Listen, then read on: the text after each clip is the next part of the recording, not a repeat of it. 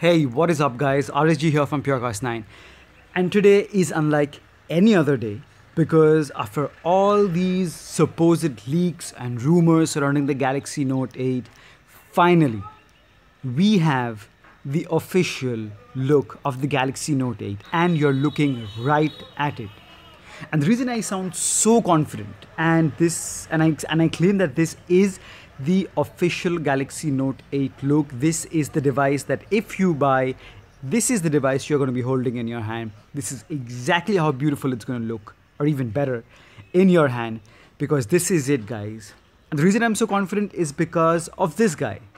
This guy has got one of the most rock solid track records for leaking these images. And just look at his statement Samsung Galaxy Note 8 in midnight black, period. I mean, that's it. So, this is official, guys. This is, as most of us believe, straight from Samsung itself. It's not some artist concept render or based on, on leaks by someone working in the factory. This is officially what the Galaxy Note 8 is going to look like. And look at this beauty. And if you can see, that compared to the Galaxy S8 Plus on the left, it is a bit squarish. So as you can see, the Galaxy S8 Plus has a bit of a rounded corner. And check this.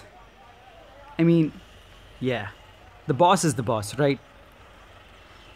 Now that is for the design. Now he has not uh, officially leaked any images of the back of the device.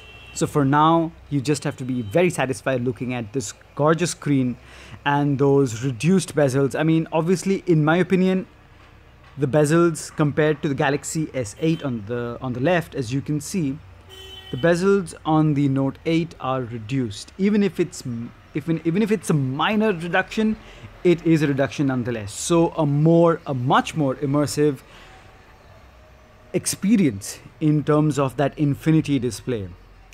And if you've seen my previous video, I've said that there have been rumors. Okay, so now we are back on the rumor train again. There have been rumors that instead of what we were all expecting, that the resolution of the Galaxy Note 8 to be a quad HD plus or a 2K plus resolution, we are actually going to see, and let's just hope this actually makes it to the final device, a 4K resolution or a UHD plus display. And that's because Samsung is really taking its VR game seriously. It's stepping up its VR game. So, nothing better than 4K for that VR experience. So, guys, this is it. You are looking at the Galaxy Note 8. It doesn't get more exciting than this. Okay, maybe it does when the when the device officially launches. So um, we are in August, just a few more weeks, guys, and then we are officially going to be seeing this device being launched in New York, and then us hungry consumers are going to get our hands on it, provided we can afford it, because this is going to come at a whopping price, as you know, something around a base price of $1,100. So, yeah, that's super expensive.